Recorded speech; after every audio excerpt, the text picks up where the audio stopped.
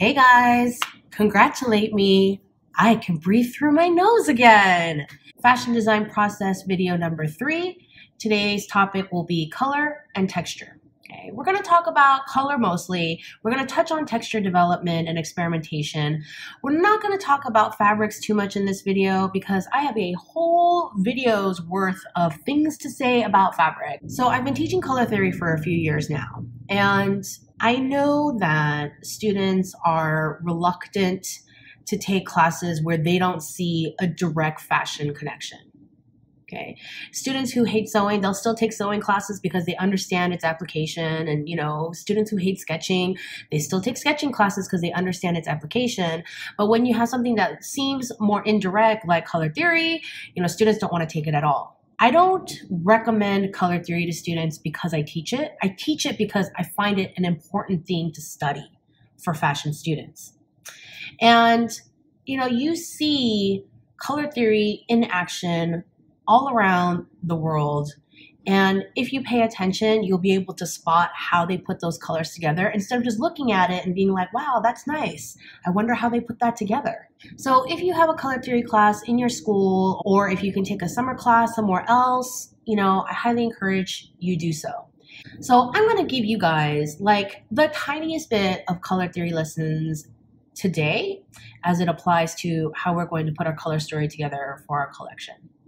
First of all, what is color? Color is comprised of three things value, saturation, and temperature. Value means the lightness or the darkness of a color. So if you have, you can have light reds and you can have dark reds. And if someone says, let's play around with different values of red, that means that in addition to whatever you guys are working on, you they want to see it with some light reds and some darker reds. Light values are also called high values, and dark values are also called low values. And then middle, the middle is the middle. Saturation is the brightness or intensity of a color. Now, brightness has nothing to do with lightness. Lightness, light colors are what colors with a lot of white in them. You know, banana yellow, baby blue Brightness is about the saturation of a color. How red is it? Is it the purest possible red, or is there anything in there that is muddying the red at all?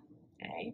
Is it red, red, red, red, red, red, red, or is it a yellow red, a blue red, a shade of a red, you know, kind of dull down red, or is it just purely intense red? That's saturation. Okay. And all those are different colors. You have fully saturated red, that's just one color. And then you have a little desaturated red and a little bit more desaturated red. And you keep desaturating until you end up with a neutral, right?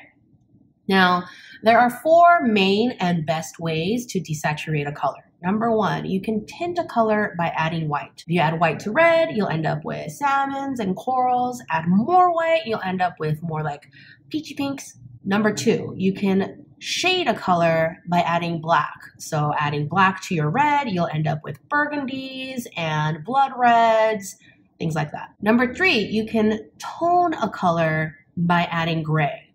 And you can add a light gray for duller, lighter reds, and you can add a dark gray for duller, darker reds. The fourth way is to mute a color by using the opposite in the color wheel. The opposite of red in a color wheel is green. So here I added a little bit of green. So you get a dull brownish red. And then here I added a lot more green. And so you're getting just even duller looking red, right? This color in here is like you know, that's more of like a brick red maroon color. And in here, it's looking like kind of a dull purpley tone, right? Temperature, that is the warmness or coolness of a color. You know, you have red, orange, and yellow. Those are your basic warm colors. You have green, blue, and purple as your basic cool colors. And, you know, you can take a color like red and you can add a little yellow to it and you'll end up with a warm tone red. Or you could take the same red and add a little blue to it and you'll end up with a cool tone red. When you're working on your collection, If you have a collection where you have a lot of black and you have some blues and purples, you have this whole cool color story going on, and you're talking to your team or you're talking to your teacher, your boss, and you're like, you know, let's let's throw in an accent color, something that really makes things pop. And someone says, hey, what about red? Would you use a warm tone red or a cool tone red? You would use a cool tone red because it has it shares a blue undertone with the rest of your colors. And so while because it's red, it still pops, it still has the same undertone family. Okay? Whereas if you put in a warm tone red in there, it's very jarring, has nothing in common with all the other colors, and it would just stick out. One of the most important takeaways with color and design is all colors look different according to what color is paired next to it. When you look at these two burgundies, which color looks darker? This one or this one? You see how this one looks slightly darker because it's next to this much lighter color? And because this burgundy is paired next to such a darker color, it looks lighter in comparison. Also, do you see how this burgundy looks cooler than this burgundy because this burgundy is next to such a warm color. Okay? The contrast between the two makes this burgundy look darker and cooler than this burgundy, even though it's the same freaking burgundy. And that is so important when you're putting your colors together. Let's say you're at the fabric store and you come across this amazing red fabric and you're like, oh, this is the best. I want everything in this color. I want lipstick in this color. color. And then you bring that fabric home and you have all your fabric boards set up and then you add this red to it and all of a sudden everything just looks like crap. You're like, what? What happened? Maybe the red just doesn't go. Okay? There are a lot of different there can be a lot of different reasons why that would happen, but and it doesn't mean you have to let go of the idea of red completely Maybe you need a duller red. Maybe you need a warmer red, a cooler red, a brighter red, whatever. But it's not about the individual colors, but how they work together. I mean, of course, it's about the individual color because most people don't buy the whole collection. But if you're looking through the lookbook and the red looks out of place with everything else, it's very jarring. You have to get all these individual awesome colors to also work together harmoniously. You're like, Zoe, easier said than done. I know. What are we made of? Not magic, but practice. We are made of practice, not magic. All this background information to get the ball rolling on putting together a color story for your collection. Number one, do you want color for your collection? There are exceptions always. You know, there are some designers who don't work with a lot of colors. Designers like Ann Demeulemeester and Alexander Wang, they work with a lot of black and white, you know, and that's their prerogative. That's their that's their brand's aesthetic. And that is what we've come to expect from them. Okay. We do not expect, you know, a rainbow color collection from Ann Demeulemeester. Like her version of color is like military green right? And if you watch a Yohji Yamamoto show and it's not 85% black, I'm assuming he's dead and someone else took over and I missed the news announcement. Okay, because you know, he is like all black and moody and drapey and all about cuts and proportions and not about color.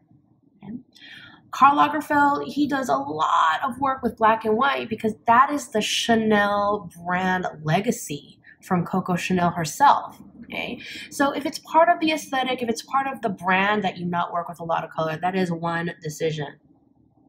On the other hand, you know, for the most of us, we are working with creating an interesting and cohesive and intriguing, enticing color story that works with our brand, that works with, you know, our current collection's mood and concepts and inspiration you know, and colors that work well together so that when all the models come out on the runway at the end of the show, the whole collection looks good together because all the colors look good together.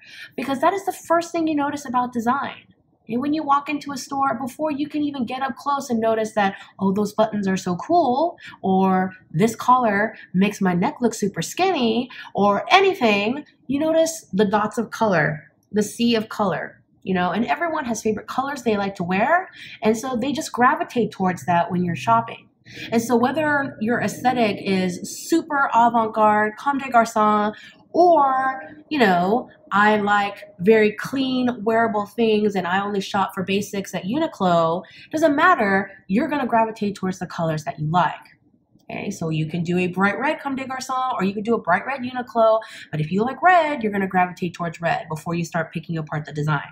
So color is your first impression, and you know what they say about first impressions. When was the last time you bought a jacket that fit you, that the design was cool, but the color was totally not what you wanted? Give me a break. You don't even know if that jacket fits you right because you didn't try it on because the color was so awful. You're like, mm-mm, I don't want that. I don't wear orange. Do I want to look like a construction code? No, I do not. And so you just walk right by it and you don't even know if it fits you like a dream or not. So, number one, make a decision. Am I someone who doesn't play around with color at all? Or am I someone like Rick Owens who does mostly neutrals, but every once in a while throws in a color? Like this season, he did a bunch of mint green and brown, and you're like, like who expected mint green at Rick Owens? You know, that's Rick Owens' version of like trouncing around in a rainbow skirt. It's like, wow, that's super colorful for Rick Owens. Or you can be someone who's super colorful, is known for their use of color. Like you go to an Oscar de la Renta show and you expect, you know, a parade of really sumptuous, gorgeous colors. So everyone is entitled to their own opinions, of course, on what looks good. But for me, the best color stories have a good balance of neutrals and brighter colors, and a good balance of light colors and dark colors. You know, good color stories, they feature a bunch of really wearable colors and a few colors that are more on trend and a little harder to wear, but you know, you need to keep things fresh and new. If you have just like all pastels, people's eyes just start kind of glazing over and you need like a few you know breaks of dark and medium colors so that the pastels look fresh and new every time you see a new outfit and if you have everything being blue on the runway you know people will kind of get lost in this blue haze and if that's the effect you're going for editorially on the runway that's great but once you get down to your lookbook and the pieces you're actually going to sell you're going to have to offer a more varied palette than just a series of blues. When you're selecting your colors, I want you to consider a few things. Number one, what season are you designing for? Brown can work at any season. Okay, the same brown can work in spring or in fall. But how about brown with orange and red and gold and touches of hunter green? What season does that feel like to you? Number two, who is your muse and customer? What colors are they wearing? What colors do they feel good in? Does your muse wear a lot of banana yellow and periwinkle together? I don't know. You tell me. It's your muse. Number three. Coughing is exhausting. Ah. Number three, consider color psychology and the mood you're trying to convey. In my previous video, we talked a lot about death and decay and blood and the ugly side of glamour. And, you know, these were the concepts that I was playing with. And, you know, chicken scales and feathers and stuff. What colors do you associate with these concepts? Do you expect a lot of, you know, bright yellow and fresh grass green and vibrant orange? Or are you expecting more dirty burgundies and grayy yellows and blacks? Right? What kind of mood are you trying to convey? You know, how does color psychology tap into it? Well, people automatically assume black is for death, red, burgundy, they look like blood. And so the passion, the violence, you know, all those things that people associate with those colors come together to really convey that mood. You don't have to be so literal, however. Like maybe your colors are more like dirt brown and like the dirty brownish neutrals of leaves that have fallen on the grass and you know like that kind of thing that shows more like fall turning into winter you know without the violence of red so you can interpret this these concepts of death and decay in different ways so because color is such a huge portion of how we view a whole collection you know the colors that you pick should represent the collection's mood I like to lift my color story from images that I collected in my visual research. And these are some of the options that I was playing around with. Now, if I were doing if I were continuing my sketchbook development, I would trim these images and I would actually put them right in my book. First of all, I love this graffiti page. Like I had a few pages from that magazine I was looking at, and this one had a beautiful combination of these brownish blacks and then these dried blood browns and then it had these really sickly yellow greens that worked really well together they had some neutrals and some colors and they looked really exciting with the contrast and they work with my theme. I had mentioned in my previous video how much I like these colors together where it's beautiful, vibrant colors, but everything is dulled down some. You know, I love this concept of, you know, after a death in your life, everything feels like everything's a little bit duller. I love the colors and textures going on in this picture. These these are mining pits. There's no life here. It's just all rocks, but there's so many beautiful colors of rocks. And then you remember my Extraordinary Chickens book and how obsessed I am with that? I put this image from my Extraordinary Chickens book of the eggs. I sort of fell in love with this color palette. I know, I was getting really kind of morbid and everything, and I was just playing around with this whole like not quite alive concept of these eggs. Pull your image or images, it can be a combination of two, and start pulling together your colors. And you could do a few different things. You could take out your paints and you can start mixing colors. You can take your markers and start matching up the colors according to what you see in your picture. Like that's a good match for this background color. You know, here are some of the darker egg colors, some of the lighter brown egg colors. There's a lot of black in the shadows there. There is that little blue chicken egg. And this one is like more pinkish. So make some color chips out of marker, out of paint, out of color pencil. No matter what you do, I highly recommend that you make all your color chips in one medium so that you're not confused with the colors because some of them are in color pencil and have this texture and some of them are in marker and have this other texture. It's like they should all have just like the flat texture so that you're really just concentrating on the color.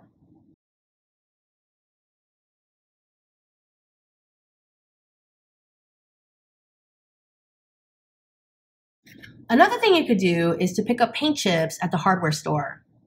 Now, these are free, but you guys just be respectful and don't go crazy, okay? Because these are for people who are trying to figure out how to paint their house, and they're for customers who are going to buy paint later. Once I've actually really finalized what kind of colors that I want, then I would go and try to get paint chips for the colors to put in my final color story for my sketchbook development. No matter what you're doing, make sure that you're playing with your colors in really bright light. Okay? Preferably sunny daylight or you know really bright white clean light. Now once you've figured out your colors, okay, make large color chips, you know this size or smaller, with your markers, with your paints, whatever, because you're going to cut them up so that you can play it with color proportions.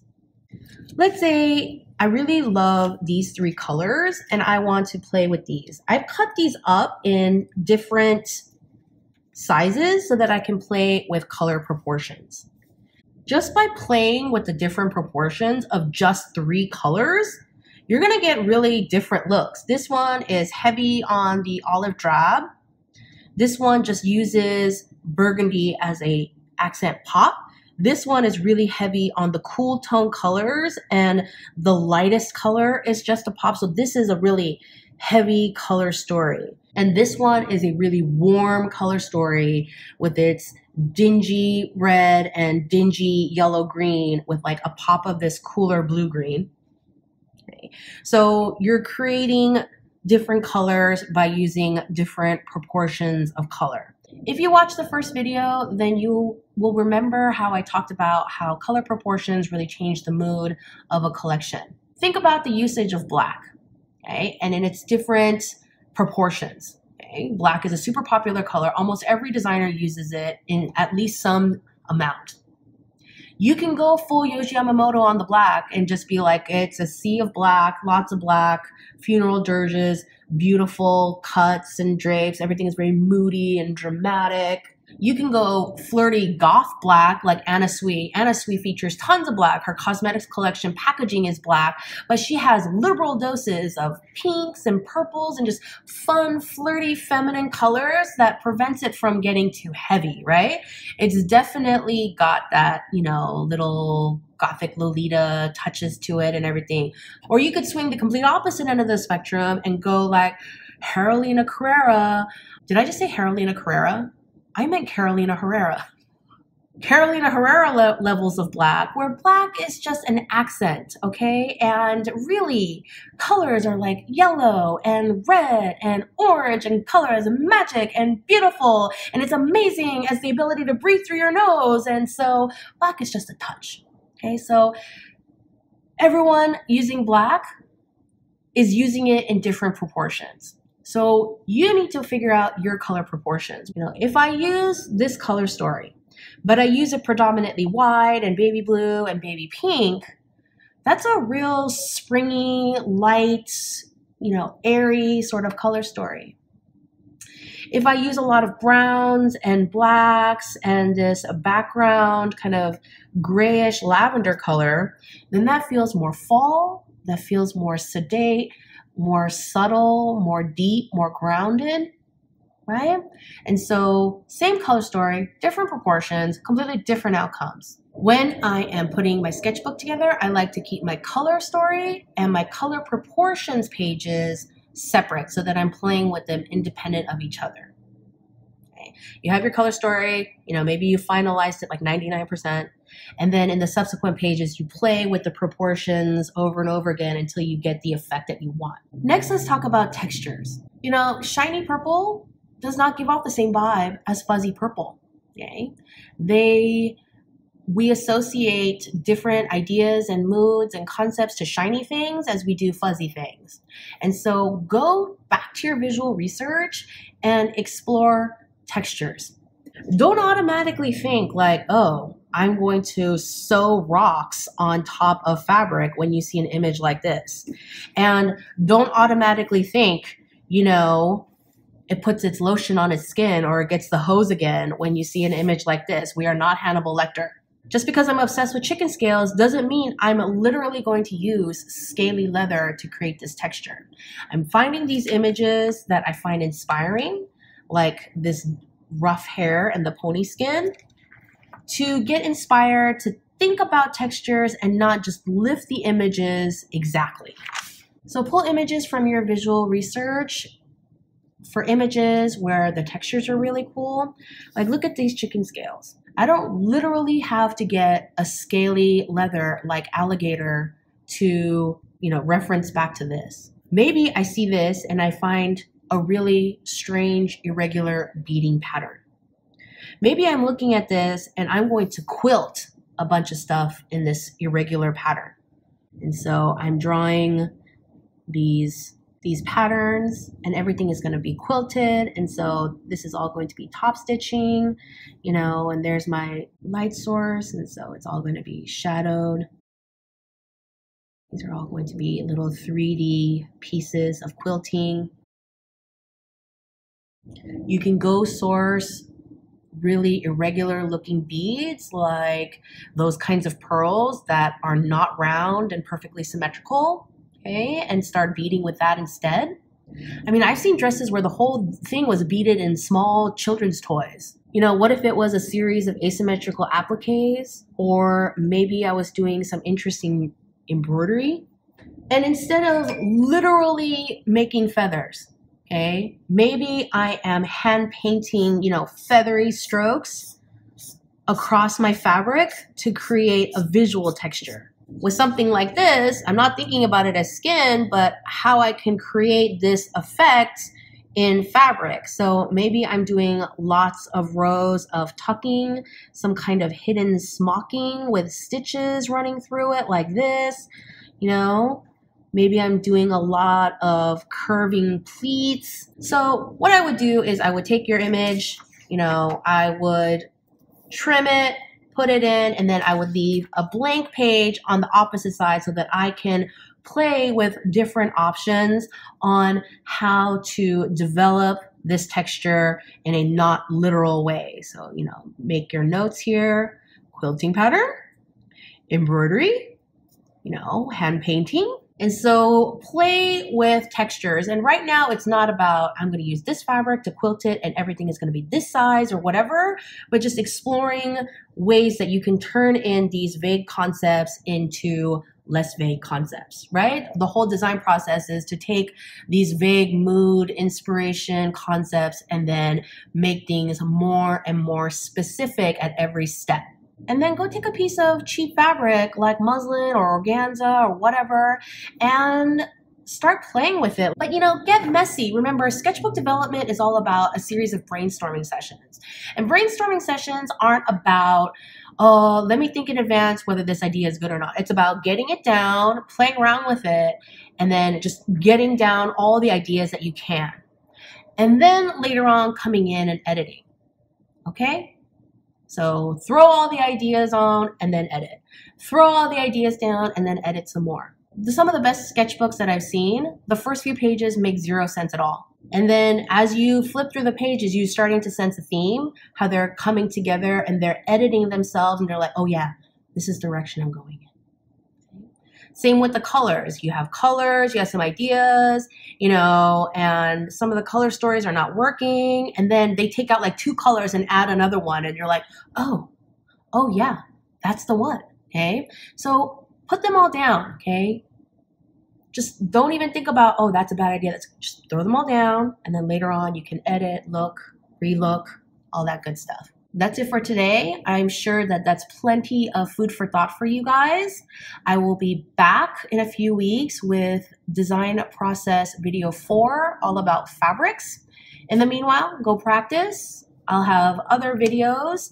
I just uploaded one on how to render with marker refill ink. So go check that one out and uh, I will see you next time.